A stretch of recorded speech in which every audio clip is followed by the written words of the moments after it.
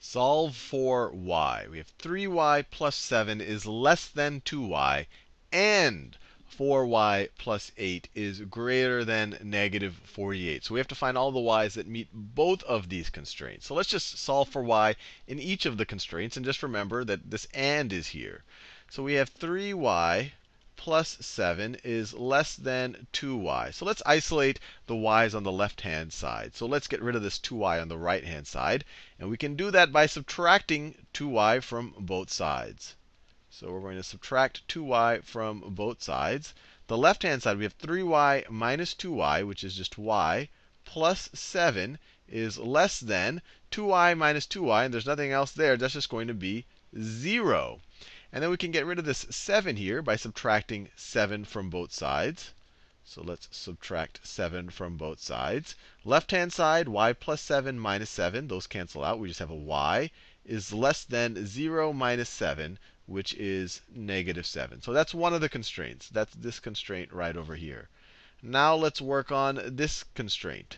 We have 4y plus 8 is greater than negative 48. So let's get rid of the 8 from the left-hand side. So we can subtract 8 from both sides.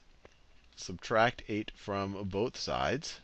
The left-hand side, we're just left with a 4y, because these guys cancel out. 4y is greater than negative 48 minus 8. So we're going to go another 8 negative. So 48 plus 8 would be, would be uh, 56. So this is going to be negative 56. Negative 56.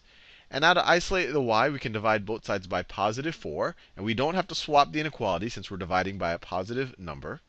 So it's divide both sides by 4 over here. So we get y. We get y is greater than, what is 56 over 4? Negative 56 over 4. Let's see. 40 is 10 times 4. And then we have another 16 to worry about. So it's 14 times 4. So y is greater than y is greater than negative 14. Is that right? 4 times 10 is 40. 4 times 4 is 16. Yep, 56. So y could be greater than y is greater than negative 14. And let's remember, we have this and here. And y is less than negative 7. So we have to meet both of these constraints over here. So let's draw them. Let's draw them on the number line. So I have my number line over here. And Let's say negative 14 is over here. Negative 14. So you have negative 13, 12, 11, 10, 9, 8, 7. That's negative 7. And then negative 6, 5, 4, 3, 2, 1. This would be 0. And then you could keep going up more positive. And so we're looking for all of the y's that are less than negative 7. So let's look at this. Less than negative 7. So not including negative 7. So we'll do an open circle around negative 7 and less than negative 7. And if that was the only constraint, we would keep going to the left. But we have this other constraint. And y has to be greater than negative 14. And y is greater than negative 14. So you make a circle around negative 14 and everything that's greater than that. And if you didn't have this other constraint, you would keep going. But the, the, the, the, the y's that satisfy both of them are all of the y's in between. These are the y's. These are the y's that are both less than negative 7 and greater than negative 14. And we can verify that things here work. So let's try some values out. So a value that would work, well, let me just do negative 10 is right here. 8, 9, this is negative 10. That should work. So let's try it out. So we'd have 3 times negative 10. 3 times negative 10 plus 7 should be less than 2 times negative 10. So this is negative 30 plus 7 is negative 23, which is indeed less than negative 20. So that works. And negative 10 has to work for this one as well.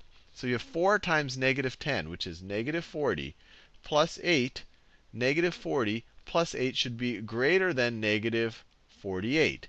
Well, negative 40 plus 8 is negative 32. We're going, we're going 8 in the positive direction. So we're getting less negative. And negative 32 is greater than negative 48. It's less negative. So this works. So negative 10 works.